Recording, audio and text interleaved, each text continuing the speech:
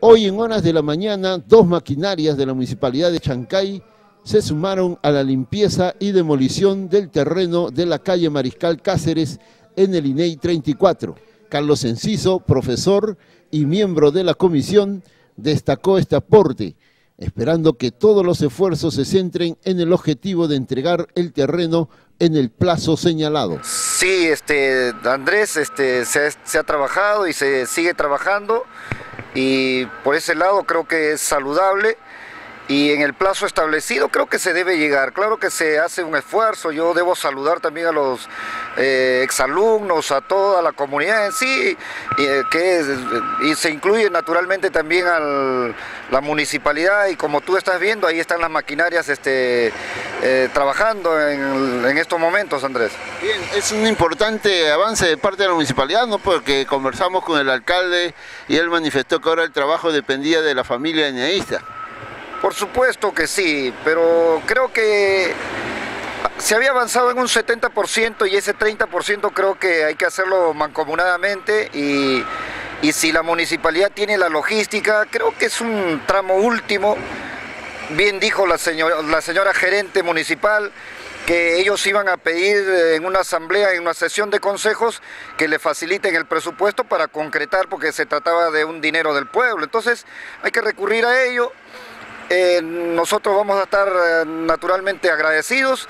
Tenemos eh, pensado para mañana martes a las 12 y 20 del día tener una asamblea de profesores.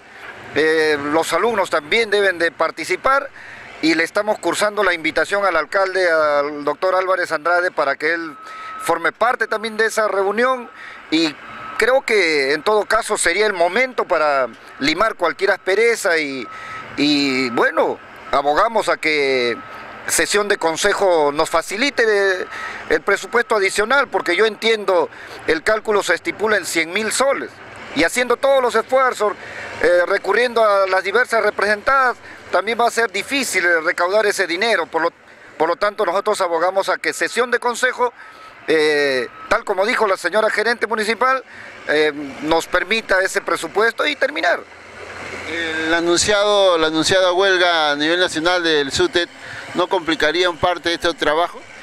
Creo que no, yo creo que no, porque está encaminado, hay una comisión, hay comisiones y que naturalmente eh, lo del creo lo, lo, de los maestros es un tema aparte a discutir y esto esto indudablemente para eso justamente estábamos pensando en esta reunión del día de mañana y a lo mejor ahí se debe concretar, o si hay algún anticuerpo, vamos a, vamos a solucionar, creo yo, esto.